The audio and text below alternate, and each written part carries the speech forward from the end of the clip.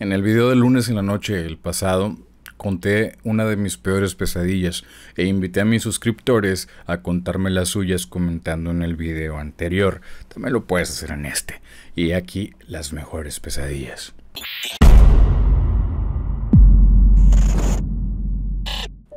Tony nos cuenta. Una vez creí haber despertado varias veces, más de diez, más o menos. Me despertaba en mi cuarto. Después de una pesadilla muy fea, me levantaba. Hacía alguna cosa creyendo que era la realidad. Y de un momento a otro empezaba otra pesadilla.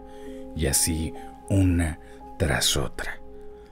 Esa fue la vez que me pasó más veces. La ocasión que le sucedió más veces.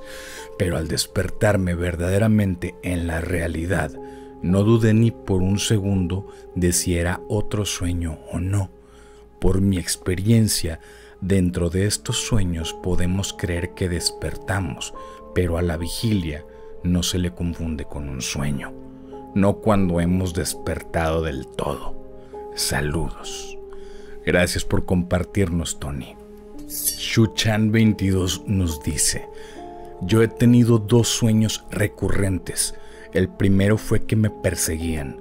No alcanzaba el final de ese sueño en tres ocasiones, hasta que a la tercera vez, al final del sueño, escalo una subida y mi hermano que no ha aparecido en todo el sueño me toma de la mano y no volví a tener ese sueño. El otro es más complicado. Deberías de contárnoslo. Y nos lo cuenta. Un sueño dentro de otro sueño esos los he tenido muchas veces, exactamente como el de Tony. ¿Te ha pasado? Nos dice Shushan22, parece que estoy despierta acostada en mi cama, cuando alguien se me sube encima de la espalda. Intento despertar y no puedo. Intento gritar, pero no tengo voz. Esos sueños asustan porque siento a alguien encima de mí e incluso el golpe, aunque sé que estoy soñando. Esos sueños vívidos, tan reales. A pesar de ser aterradoras, esas pesadillas son de mis favoritas. Marta Alicia Reyes nos cuenta su pesadilla. Hace poco tuve una muy real. Me veía muy joven y caminaba rumbo a mi casa de noche y luego escuché pasos atrás de mí. Me dio pánico y sin voltear apuré el paso, pero de repente sentí un jalón del brazo. Me tiraron al suelo. No pude gritar por el pánico, pero luego vi que eran varias personas extrañas que me rodeaban y empezaban a reírse horrible. Solo me miraban, entonces yo grité y mi grito me despertó. Estaba sudando y con el corazón acelerado. Fue una experiencia aterradora, porque esas personas en mi sueño no tenían rostro. Nunca he olvidado ese sueño porque lo sentí muy real. Aterrador. Gracias por compartir. Acabas de desbloquearme un recuerdo, Marta. Cuando yo estaba muy niño tenía este tipo de pesadillas también recurrentes, con rostros que se me acercaban. Rostros que igual tú sabías que era un humano, pero tampoco era un tan humano.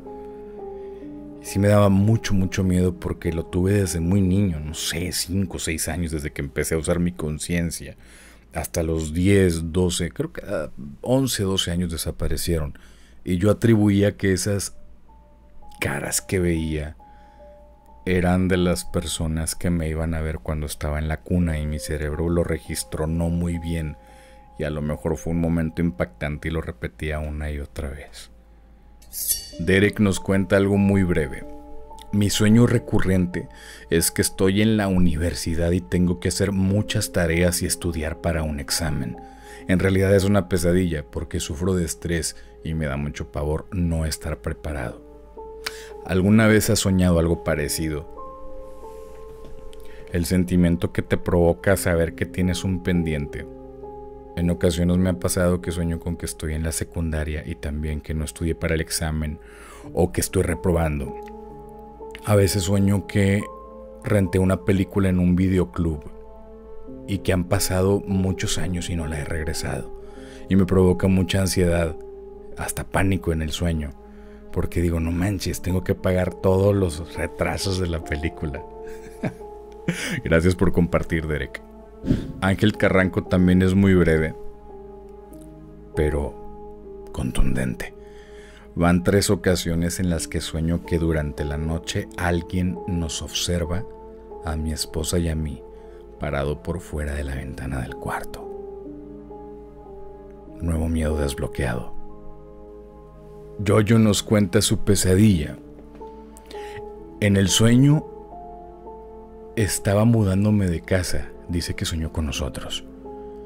Los fui a visitar y pude estar como espectadora en un programa con ustedes, donde Diego vino personalmente. Yo dije, qué lindo, viene hasta aquí para apoyarlos.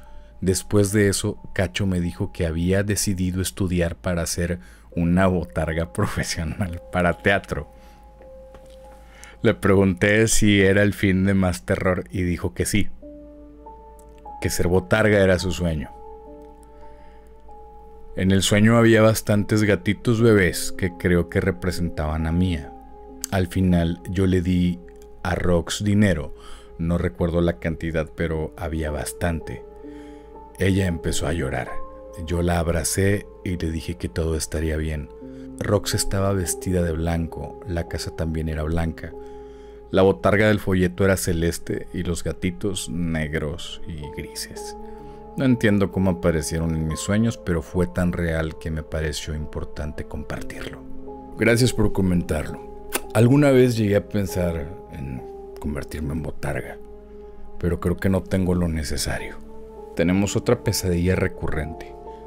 User nos comenta, Hace varios años tuve uno de esos sueños recurrentes donde me despertaba fácil unas siete u ocho ocasiones. En el sueño era de madrugada y me despertaba corriendo al baño para vomitar. Al vomitar noto que vomitaba pura sangre. Y siempre que terminaba volteaba a la regadera y atrás de la cortina se asomaba un payaso cada una de las veces que despertaba hacía exactamente lo mismo.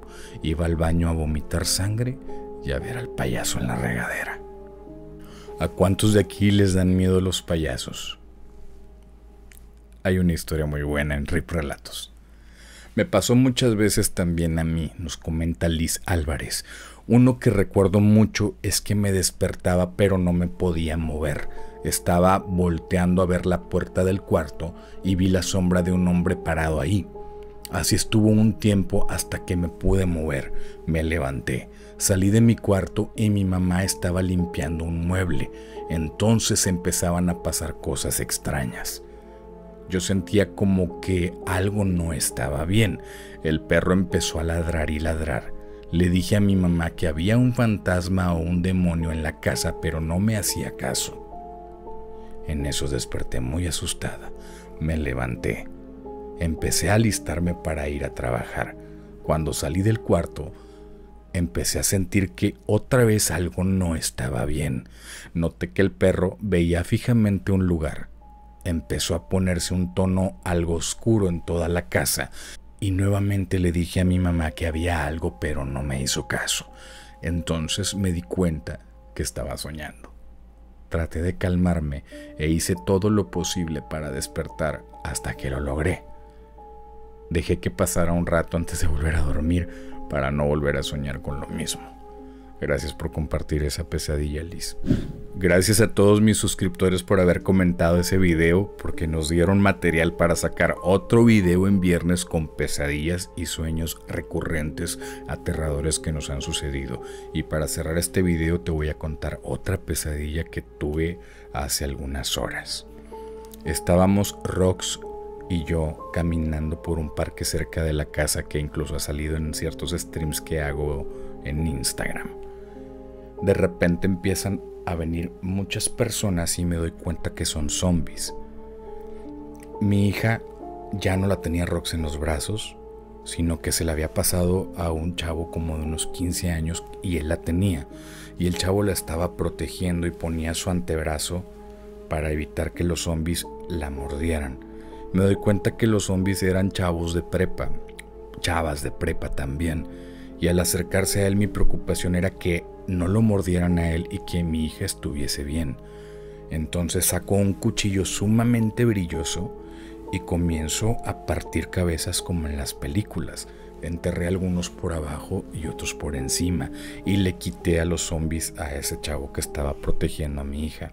Después creo que se la da a Rox y yo reviso que él estuviese bien porque traía puesto un hoodie negro mío y dije capaz si se lo gancharon y lo mordieron y sentía horrible en mi sueño que tal vez iba a morir por eso. En eso escucho movimiento detrás de mí y volteo y con el mismo cuchillo muy brillante, ¡paz! lo encajo. Pero lo encajo a Taira. Era nuestra perrita. Y se lo encajo en esta parte de aquí de su naricita.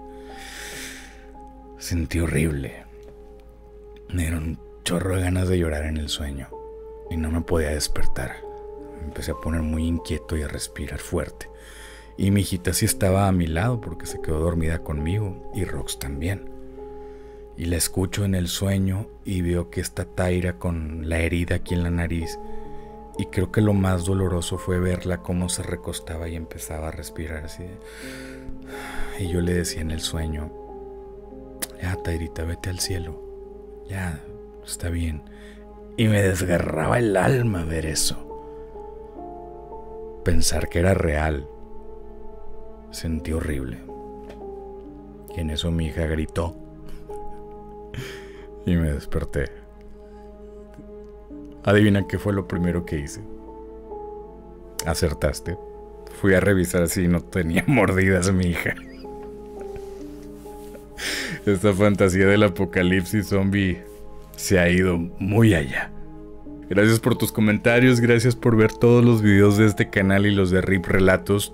Estamos más contigo en todas las redes, pero todavía no es el regreso oficial. Próximamente, cosita de nada, estaremos contigo de nuevo. Que tengas un excelente fin de semana. Pásatela muy bien. Nos vemos el lunes. Un abrazo y un beso. Hasta luego, vikingos del terror.